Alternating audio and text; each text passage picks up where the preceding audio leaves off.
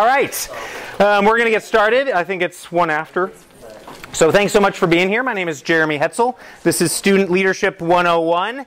And this is a topic that I have grown a lot in in the last eight or nine years, um, but something that I have become very passionate about. Um, so my plan is to kind of walk us through information that I have learned. Um, but I'd love you to just take a second look on the Whova app. I had some questions on there um, as polls. So as I am sharing a little bit, um, I kind of just want to know what context most of us are coming from, and if there are um, specific things that you're hoping to learn. So, where do you serve students?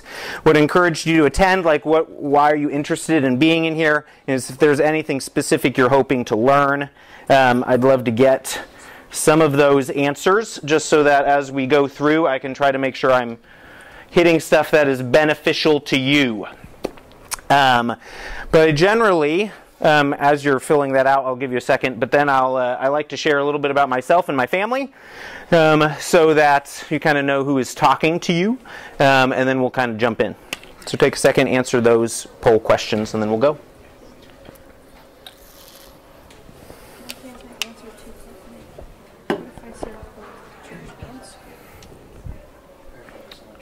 Where do you where do you primarily?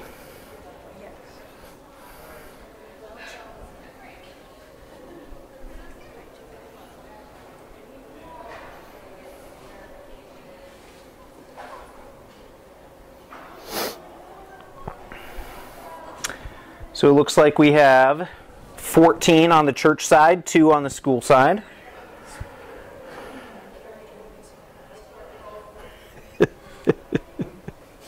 Someone just said, "Why? What encouraged you to attend?" I love you. I'm very,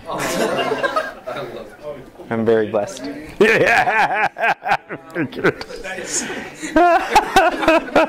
I'm very honored. Awesome. Um,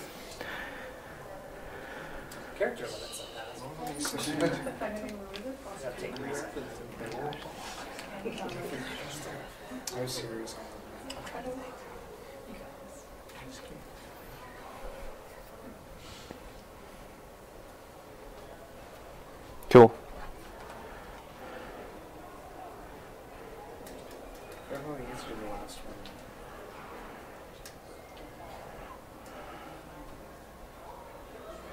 Okay.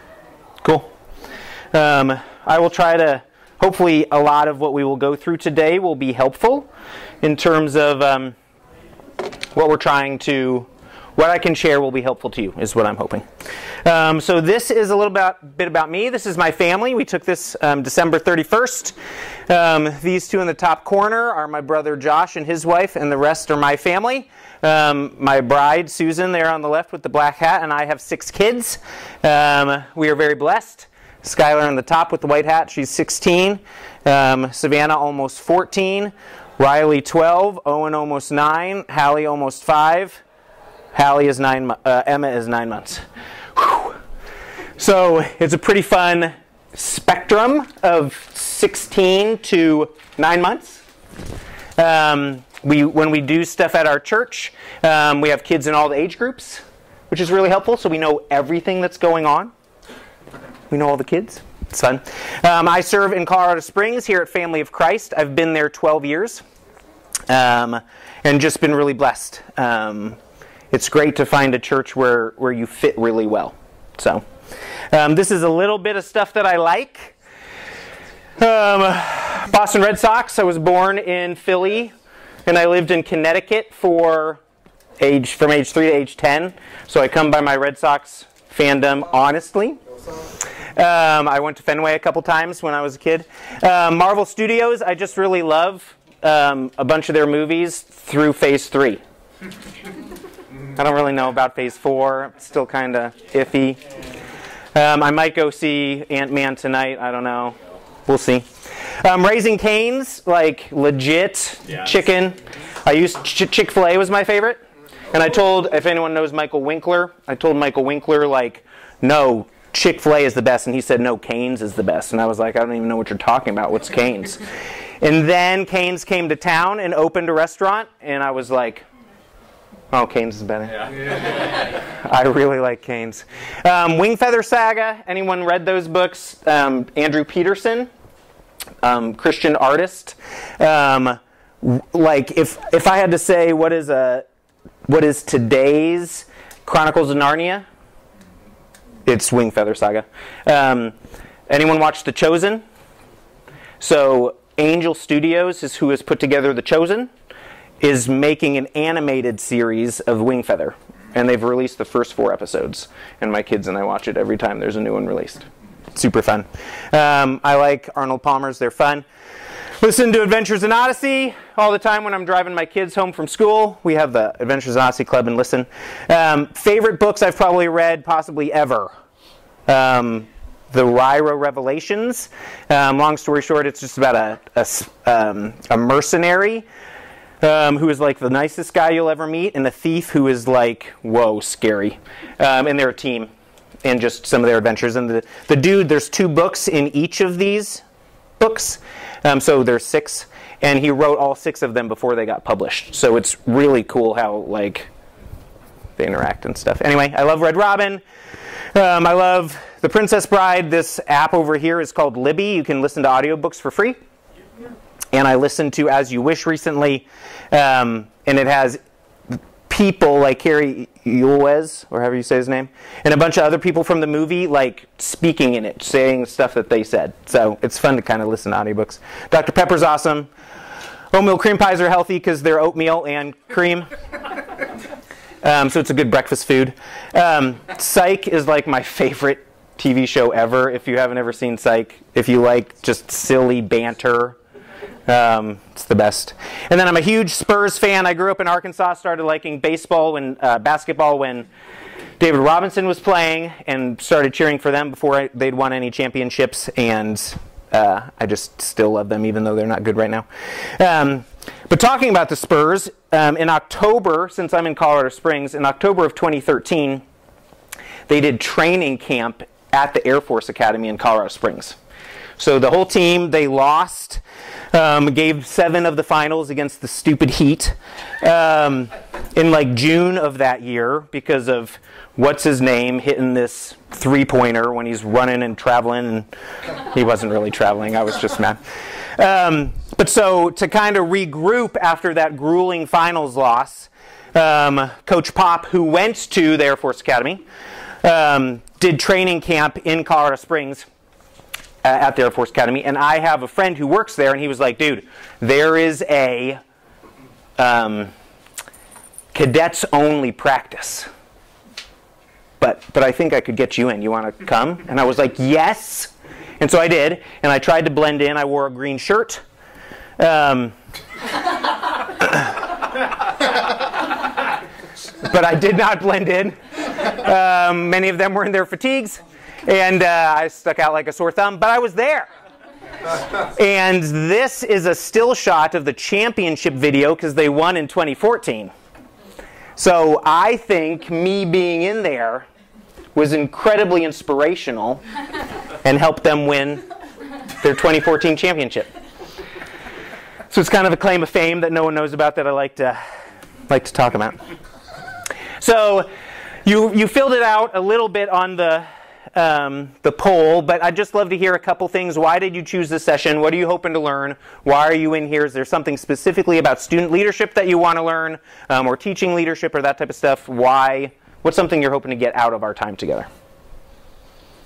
For anyone who wants to share, besides people who just come because they love me. I, I think it's while our culture changes and our students are changing, and how things that they're interested in, and how they communicate and relate to the world around them. There's, I think, some timeless truths about yeah. leading students that doesn't change. So I think that's yeah. my motivation for cool. being here. Agreed. How to equip and develop leaders. Yeah. It's hard to do it if you don't know how. I felt that way a long time ago. Uh, encouraging the student leaders, uh, even things don't go so well for them or when they fail. Yep, because they will which is okay. Cool. Any others? Cool. All right. So I want to share a little bit about my journey. My first three summers at Family of Christ, um, these are teams that I took on mission trips. So my first summer, I'd been there for about six months. We got this trip planned. We used YouthWorks. Took I think 11 kids. Um, we went to Las Vegas in July. It was crazy hot. Um, the next summer, we were going to go to San Francisco, and I had a bunch more kids that were interested, and so we added a trip to LA um, and teamed with uh, the rescue mission out there. Um, and that was really good. But I started sensing, especially with some of my younger kids, that they were going to be looking for something more. Um, so this summer, we took two teams to Montana, and this whole time, even though we saw a lot of students engaged and excited about serving, I knew that as they hit their junior year, senior year, they were looking for more. And specifically, I knew that because some of these girls right here, these were eighth graders when I started. Um, and so then three years later, they were sophomores, finishing sophomore year. And they were just leaders. They were craving more opportunity and I didn't have a way to provide that for them. And we had done YouthWorks for the previous three summers, right? Um, and I started to realize that as much as it was great meeting other people and getting opportunities for students to serve in different locations, once you had kind of done a YouthWorks trip, you had done all of them. Um, same type of experience, same type of expectations, and they wanted more challenge. And so thankfully in 2014 we did our first trip with Leader Treks. So I'm going to talk about Leader Treks a lot um, because I've been really blessed by them. I'm not paid by them. I have to say that I am not paid by them. Um, but they send me swag, like this shirt. Um, and I have this. You might see me walking around with this. Says Leader Treks on the side.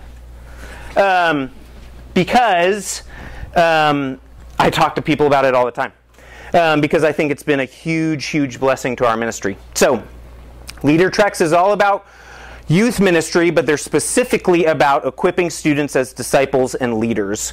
So, we did our first trip with them in 2014 took some of the students that had been on the previous summer's trips and I was excited to see what happened and when we finished that week and I asked like this kid Jared here he had been with three different mission trip organizations, and Leader Treks being his third. And I asked, like, what, what, what was most meaningful to you? And he said, this experience. So I want to talk through what some of their trips look like and then expound on how we've tried to implement stuff they do on trip in our own ministry. So when we showed up our first night, this was Dayton, Ohio, um, the trip leader, uh, her name was Taryn, she said, Okay, we're going to do a team builder, um, and I think she primarily did that because she wanted to see who are the leaders in this group, right? You do a team builder, um, you got to cross this chocolate river, there's crocodile, you know, like whatever, and you got to walk and you only have seven boards, but you have to get 14 people on it, whatever it is, right? But you have to work together and you see who are the voices that are speaking up and leading and guiding and helping decisions be made. And so they identified Jared as one of those leaders. Um, and I forget who else they picked. They might have picked, I don't remember who else they picked. Um, Nick, maybe. Um, and so they, they saw two people who were kind of natural leaders. And the next day at worksite, they made them the worksite leaders. So, how Leader Treks works um, students lead everything depending on the level of trip that you're on. So, a typical trip, a mission ready trip, um, we call it a level 2 trip, students plan their own VBS before they go. So, the Leader Trek staff will say, hey, okay, you're going to be in Dayton this week. You're going to be doing VBS at this church, and you need to plan a three day, two hour VBS. And so I picked Jared, and Rachel. Right? No, right there. Um, I picked the two of them as VBS leaders. They had to plan the theme, They had to plan the schedule, like what rotations are we going to have, what time are we going to rotate, and they had to split up the rest of the team into, hey, your Bible study team, your crafts, your games, etc. And they had to do all that work. And then when we showed up on trip, they led VBS. On top of that, um, they lead on worksite. So Jared got identified as one of the leaders, and so he was in charge of like the picket team. So we are going to start measuring and cutting pickets for our fence. And then Nick, or maybe it was Rachel, were in charge of um, starting to dig the holes for posts to go in. And on that first day, Jared is leading, hey team, this is what we're going to do, etc. And he gets some training from Leader Trek staff. But, but Sean is working with him. And so then on Tuesday, Sean gets promoted and he is the picket guy. So he's had a day of experience. Um, he's gotten to experience what are we supposed to do, but he's still going to have problems to solve, etc. Um, but now he's been promoted. And in the same way, they lead in the kitchen. So um, you show up for breakfast, and there's a team that's supposed to be there, and one of them gets assigned. You're the leader, and that leader has to decide okay, you're cooking the pancakes, and you're making the eggs, and you are setting everything up. And it's the leader's job to make sure breakfast gets made, it's edible, and it's on time, right? So, throughout the whole experience, students are leading lots of different stuff. And what Leader Treks call those things are leadership labs. Opportunities for students to kind of dig in and lead and create a safe space for failure and genuine ownership. There is so much anxiety today there is so much, I'm not sure I can do that. I'm nervous about that. There is so much fear of failure um, that it's super important to create a safe space for that. And I have found that Leader Treks has done a great job of creating a space for students to be willing to try things. And often they'll say, I don't know how to do that. That's okay. Um, ask me questions. So the important thing too is that we don't jump in as adults and save them. Right? So kid is in charge. He's making pancakes um, and he is putting in tons of water. You'd go, oh my gosh, that's going to run over the whole pan. So you initially want to step in and be like, well, hey, hey, how much are you adding? You don't. You just sit there and, hey, Randy, what do you want me to do? Can, can you mix the eggs? Sure. And the kid's in charge. Um, I'll talk some more about some of that stuff as we go. But I think it's really important to have a safe place for failure because kids are going to fail. We all fail at stuff that we've never done. So, how can we have a safe place to try something new? Um, some of the other components about a Leader Treks trip they have 45 minutes of quiet time every morning. Um, I'll talk about that in a little bit. And they also do um, team time at night, and you evaluate as part of that. And evaluation is an important part because it's this opportunity to say what's going well, what's not going well. And people can own their failures in front of the rest of the group, or people may not even realize that half they did failed. Man, yeah, we taught the kids the Bible story. They were running around the whole time. Like, out of the 10 kids that were in there, one sat what can we do about that, right? So, before we get into some of the nitty gritty stuff about how that works or how you foster some of that stuff, I wanted to share some success stories. So, Sarah, she went on our first trip. She got assigned to be the Bible study leader. She was the quiet, I'm not comfortable talking in front of people. Um, I struggle with that. I know the Bible a lot because I've been doing Awana for the last seven years, eight years. Um, so I know a lot of Bible and Scripture, and so that's why I got assigned here, but I'm in charge. She showed up and she was nervous. Um, I've never really led kids. This is kind of chaotic because these kids are just kind of running around. And she was in charge. She, she came into the trip saying, I'm not a leader. Two years later, um, in Pawleys Island, she was one of the two VBS leaders. Just the opportunity to step into and go, I, I did all right at that. Like God could use me at that. And then in college, she was part of a camp that's near Colorado Springs. Um, and they have a ministry where they travel to other towns to do like camps. She was in charge. Um, this kid, Ben, he uh, was in All City Jazz Band. They did one All City Jazz concert. And he absolutely loved it. And he was bummed that they only had one concert. So he was just like, oh, man, I just wish we could do more. And then he kind of realized, I'm a leader. I have influence. I, I can do that. And so he called his teacher. He asked for the names of all the kids that were on the jazz, city jazz band, contacted all of them and said, hey, do any of you want to do some additional gigs? Got, I, I think it was three or four. And for the next two years, they did gigs around town. The library, the coffee shop. Um, he did all kinds of stuff like that. This girl, Mickey, here, um, she attended confirmation, was involved for the two years. As a freshman, kind of not involved. Um, was able to convince her to go on a mission trip, but she would have said, I'm not a leader, I'm quiet, I, I'm kind of bubbly, but I'm shy. Um, and so I like participating and helping, but I, that's about it.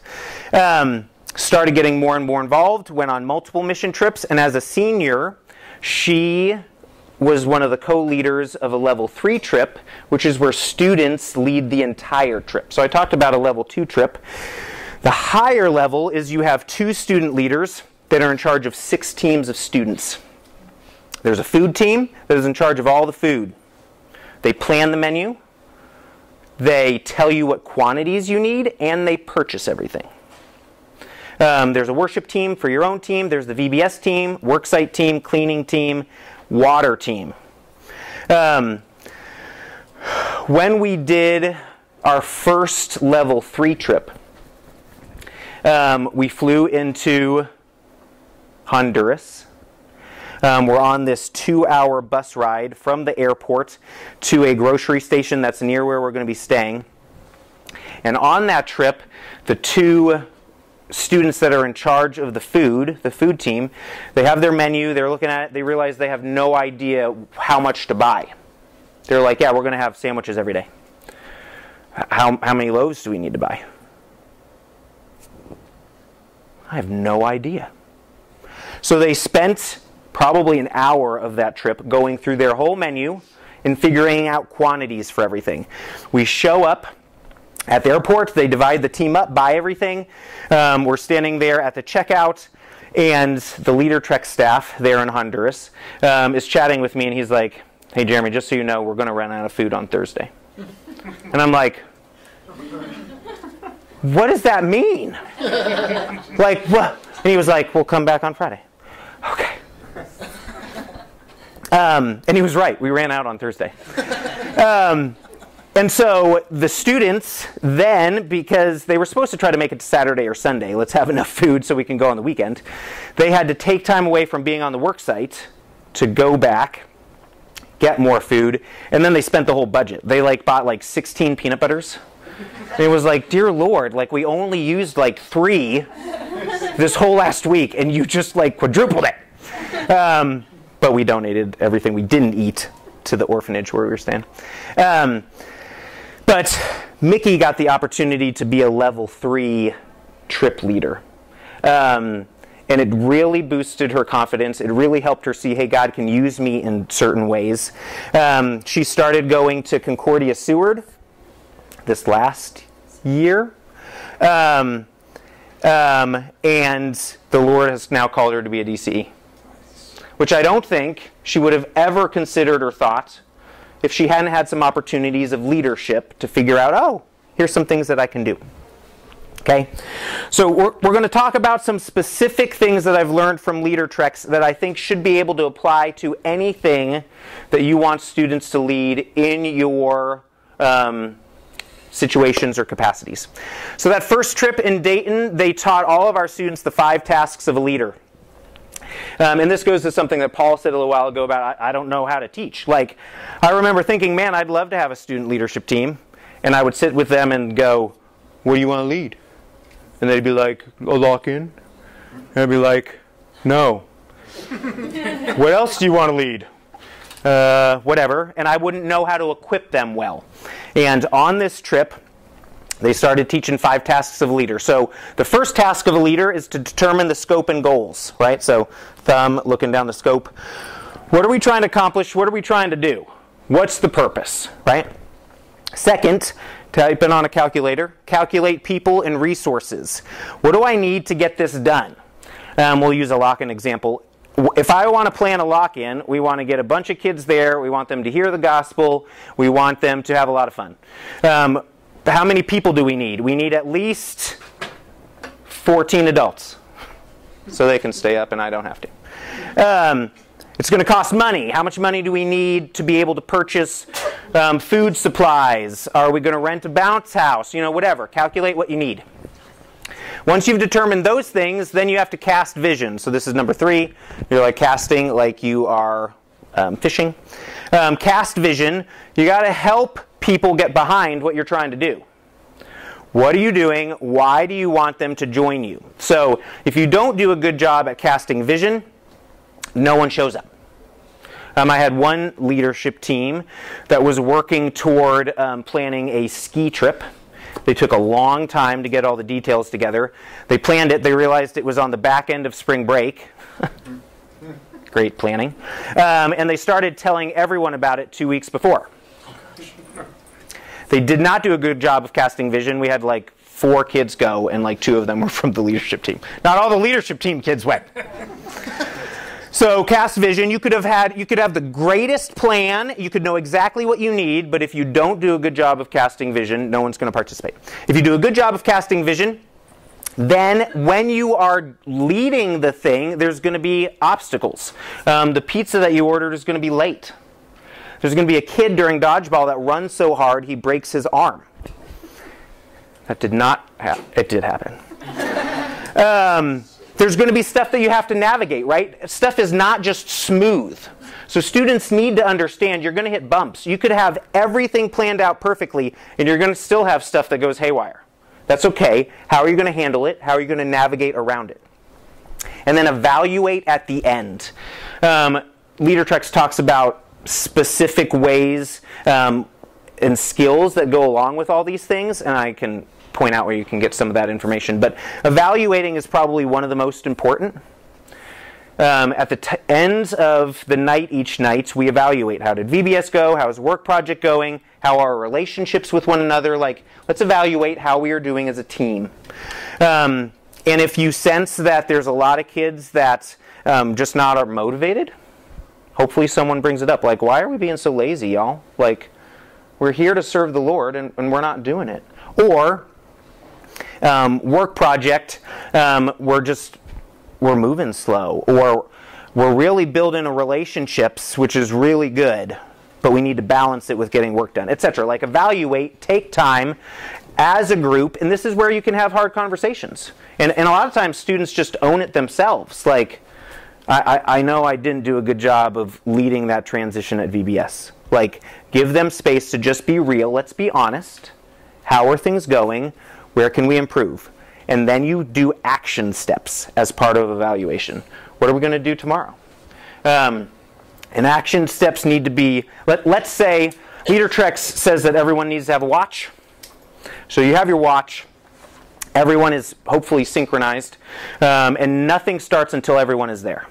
So breakfast doesn't start until everyone's there.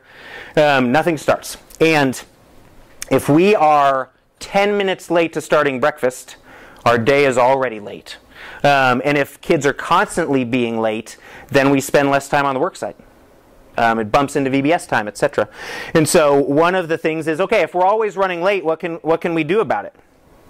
Some of the ideas that we've used is there's a kid who becomes the like five minute caller, and his job is to pay attention. Hey, we got five minutes till breakfast, and he's just walking around. And whenever there's transition times, that's his job. And so the action step gets put in place, and then we evaluate did the kid do his job or not the next day. And if he did, were we more on time? Did that work? If it didn't work, let's find something else that can help us. Let's find ways to improve. So, five tasks of a leader. Um, I think this has been super helpful for me. Just thinking about, okay, I'm trying to lead this new opportunity at church or whatever. Oh, what do I need to figure out? I just look at my hand. Uh, mission first, people always is a phrase that they say all the time. And so by that they mean we have to say super focused on the mission while also being focused on people. They take this from Psalm 78 72. Um, with upright heart he shepherded them and guided them with his skillful hand.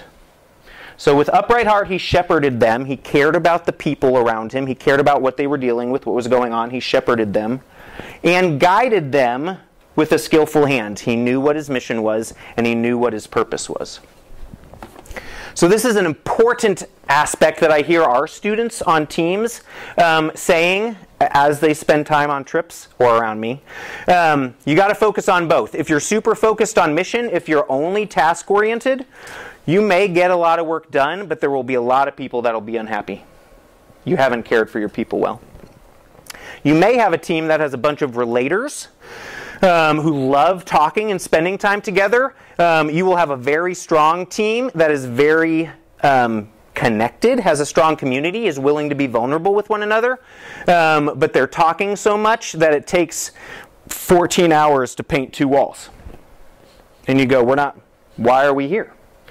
So it's got to be a balance. Leadership is all about balancing. This is where we're headed, but if no one's following you, then you haven't shepherded them well. So mission first, people always, and they are always in tension. You may be super focused. Hey, we're going to stop work right now. We need to deal with this relational crisis. That's okay. Um, work is going slowly, but the team is really connected. Hey, we got to kick it into gear. We are leaving on Friday. Let's get this work done. So these, um, they have a lot of principles that they say a lot. This is one of them. Mission first, people always. The two tasks that any leader has to focus on, you got to be doing both. And I have found that our students that are like the top two on a level three trip, where they're in charge of the six teams, um, this is one of the things that they struggle with the most because I think it's one of the things that we struggle with most. If I'm a relator, which I am, um, it's super easy to be focused here and I don't focus on the task as well, which is why it's good to have a balanced team. But they need to be able to call out. The doer is going to be frustrated during evaluation because we're not working hard. Give him space to speak and be real. One of the things that Leader Treks also talks a lot about is push kids 10% out of their comfort zone. Um, if you push too far, and it's just an arbitrary number, right? Like, you, it's not like you walk up to students and go, yo, you 15% out or is it like 8? You okay? Um, they don't know. But you push 10%. If you push too hard, they're overwhelmed. And if kids get overwhelmed, they shut down. If you're not challenging them, um, then they're just kind of like, what's my purpose here? And that's what I was starting to see in kids that went on the YouthWorks trips. They just got used to, okay, I'm painting a wall. But they didn't have anything that was really challenging them um, being in charge, you could go to the same location. We rotate Leader Trek sites. Um, but you could go to the same location every year. And with a Leader Trek level 3 team, it would be different every year because you'd have two student leaders and your kids would have different responsibilities and it would be new challenges for them. So, what does it look like to push your kids 10% out of their comfort zone? Um, they also, when we went on our first trip, um, their staff, so they typically have a trip leader and then at least one intern. I was amazed by how well their staff got to know my students. Um, and they were having really important questions with, like conversations with them. I remember we were working in a community garden trying to lay um, like concrete. And um, one of their staff was talking to this kid named Max, um, who was passionate about baseball, played baseball um, in high school on his team, did a lot with that. And he was asking Max how he was going to help um, guys on his team get to know Christ. I had known Max for like two or three years and had never had a conversation like that with Max. And I was like, You have known him for like three days. Like, how are you having this conversation with him? And so, what they train their staff in is this um, concept of 100 questions. So, you will find as you talk with teens that their favorite subject is often themselves, right? Um, and so, you observe what they're interested in. So, imagine if I am a student and I walk into a room, you don't know me, and I'm wearing a San Antonio Spurs shirt because I'm a big fan. Your question could be, well, hey, what's your name? Nice to meet you. Um, so you like the Spurs? And I'd be like, yeah. You could be like, sweet. And we're done. but if you keep asking questions, they often will continue to share. Now, there's some kids that are shy, or you know, you got to be sensitive to how they're feeling. But hey, you like the Spurs? Yeah. How long have you liked the Spurs? Oh, since eighth grade. What was it about eighth grade that you started cheering for them? Oh, well, I got this picture I got this Christian magazine um, that had David Robinson on the cover, and I just thought he was like an incredibly strong man of God, full of faith, um, and he was a good basketball player. I just thought it was fun. And then a couple months later, there was an article on Avery Johnson in the same magazine, and he was their point guard. And I was just like, dude, these guys are awesome. And so I started cheering for them. So you've been cheering for them since then? Like, how old are you now? 42? You are an old kid. um, but you can keep asking questions like, so, like, have you gone to any games? Um, does anyone else in your family like them? Oh, well, I've not been to any games, but um, I think I'd love to go with my dad sometime. He was born in San Antonio. Oh, that's awesome. Um, how long did your dad live in San Antonio? I think he was only there a couple years. Um, well, what's your relationship with your dad like? Like, you have gone from a simple thing that they are wearing to what's their relationship with their dad look like just because you're intentionally asking questions. And that is not, this is hard, but that is not, okay, I'm not really listening to you because I'm thinking of my next question. Because if you're doing that, you have no clue what they just said. So you're listening. What's going on? What did you just say? What's a natural question I can ask? So I train all of my adults who help in student ministry to do this um, similar to I've just talked to you about it. So the more you practice this, the more you will see, hey, I can get into really beneficial conversations just by asking questions. Um, the last thing before I tar- start talking about how we've implemented some of this is Bible study methods. So I have over here, if you want to look, I have some of their field guides. And we use these for our junior hires as well. We do a local um, mission trip and I use these. Um, but what these field guides, trip books teach um, is different Bible study methods. So they give students 45 minutes in the morning. And you kind of go, whoa, you're going to give my eighth or ninth grader 45 minutes by themselves to do Bible study? Um, they try to fill it for those kids. So, like I'll, day four here, they have this, you're going to go through like James 3, and it's got questions. Um, this method is the newspaper method. Um, and so you're just reading the passage and then answering the questions, right? So let's say that takes 10 minutes, maybe for some kids. Um, next, they have a prayer journal where it's the Acts prayer method, so they can spend some time in prayer. They also have a personal growth journal how am I doing? What is life looking like? What am I learning out of this trip, etc., that they can fill out. What I have found is that when you give them 45 minutes and you give them specific Bible study methods, they go home and they can use those same methods. Like um, the 5P method, I wonder if I can find it. OPA, we'll talk about that one. OPA method is observation, principles, and application. So I'm going to read this passage, James chapter 2, and I'm going to compile all the facts I can find about it. That can take a while. Then, what are some principles that I can draw out of that? Like, what am I seeing? What connections am I seeing? What, what principles for my life can I see? And then, how am I going to apply that? And they always have application in their Bible studies. And so, what I found was when we would go on YouthWorks trips, um, the devotionals were very engaging. It was great, but the kids would never look at it again. It was like, oh, that was good. That was meaningful. Um, but with this, I started having kids say, I, I think I want to spend some more time with Jesus just while I'm home. And I think I want to I'm going to use some of these Bible study methods. And so I have found that, especially as kids get more experience with having 45 minutes, as they are sophomores, juniors, seniors, they start craving that. They go, one of my favorite parts of trip is just having time with Jesus. And they come home as a freshman and they say, Oh man, I have learned um, so much. I loved spending time with Jesus. And they do it semi good for like two weeks after. But by the time they are juniors and seniors and they have had that struggle of going and showing up and failing, and man, I haven't read my Bible in two months.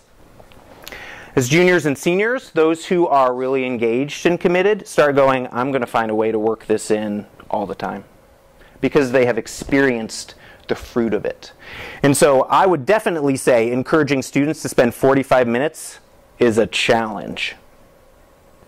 But how are we supposed to equip our kids as disciples and leaders if they are not spending time with Jesus? And how are we supposed to do that if we are not spending time with Jesus? And so it's been a huge, healthy challenge for me, and one of the things that I love too. Um, and I actually do this. Um, I, I, typically spend at least 30 minutes, if not 45, um, in quiet time every day when I first get to church. Because I realize how important it is for me to be fed with my time with Jesus. So, how have I implemented some of this stuff? Um, we have instituted something we call the steps of progression. So, understanding that we don't want to push, push kids too far. During confirmation, we require them to do 40 hours of community service in the summer. I don't care how much you do outside of that. Um, you could do a bunch during the school year, but in the summer, as a junior high student, you have to do 40 hours. And then we say, You want to get all that done in one week? join us for our service week. And so we do a local mission trip. We don't do overnights. You show up at like 7 every day. We do 30 minutes of quiet time with the junior hires with those same trip books. We take 15 or 20 minutes afterwards to process the Bible study. Um, and then they go different locations and serve. And students are in charge of stuff even in junior high. So there's a, a, a small private Christian school in Denver that every year we go on Wednesday.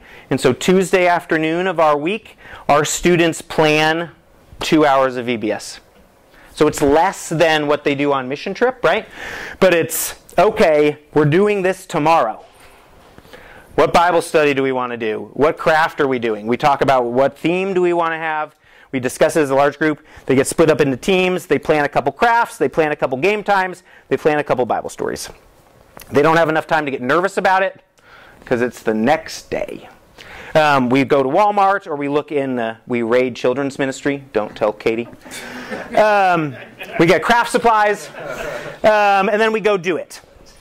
And what we have found is they experience that in junior high, um, and we always do a um, mission trip like recap service um, at the end of the summer.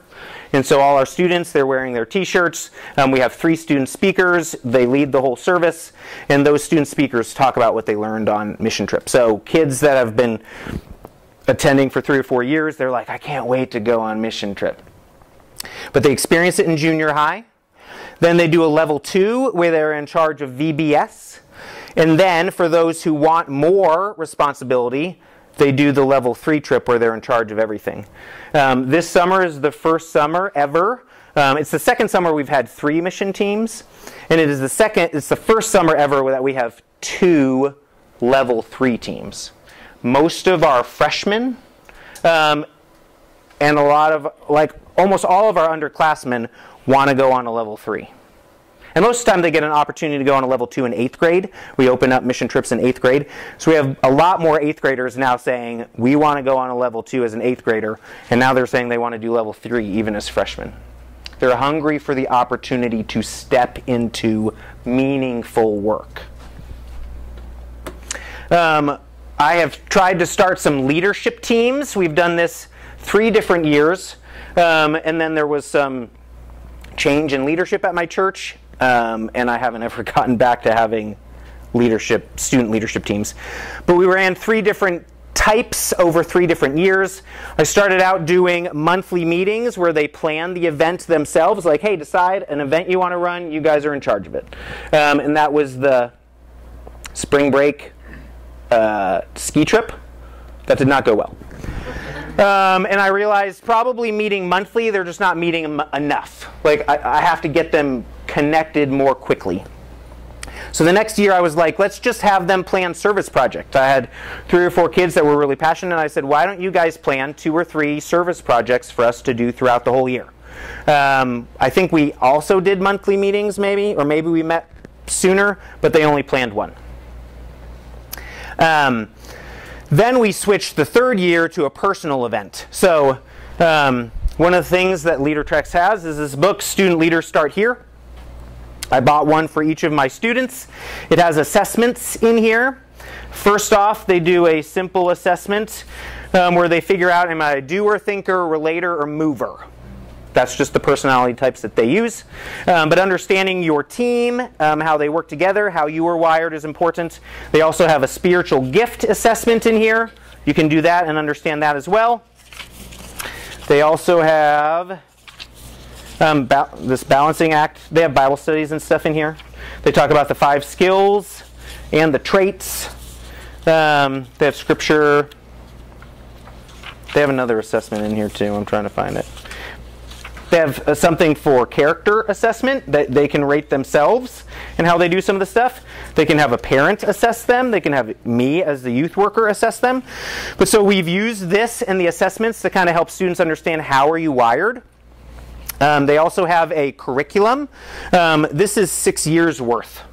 So if you are connected to a school in some way, shape, or form where you want to teach leadership, um, you could have I guess, two years of junior high and then four of high school.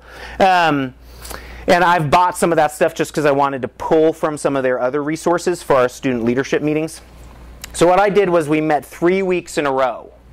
Let's just pound it out in like September. We're going to do three weeks. So you have this topic. We're going to meet Sunday afternoons, get this done. And once we've done that, then you are going to prayerfully consider what are you passionate about and how you can help. So the year I did that, I had four students participating. One um, enjoyed graphic design, and so he took over our um, advertisements on Instagram. So each week, I would say, hey, this is what's going on, and he would build the new picture and send it to me, and I would post it. So that was his. Um, we had another guy who was passionate about student led worship, and so he planned a he wanted to do it monthly. I think we had him do it two or three times because i knew it was going to take some time to ramp up to it. Um, but he was in charge of the whole thing. So he got a he tried to get a band together. He had a student speaker. Um, he, he met in a different space in our church. He built this whole backdrop. He put like colored lights all over it. I was like dang. Like this is way more than i would have ever done. Um, but it was great because it was his baby, and he was encouraging students to come, finding speakers, or he was speaking, um, having student led worship, etc. Had another girl um, who was really passionate about quiet time, stuff she had learned on her Leader Treks trips. And so she just wanted to do a Devo for the rest of the students on why it was important. And so she led a Devo for our students. Um, there was another girl who was really ambitious and wanted to do an anti bullying campaign at her school. It was a great idea and did not come to fruition. There's a lot of stuff to work through with that. Um, but so that's how I've done student leadership teams. I think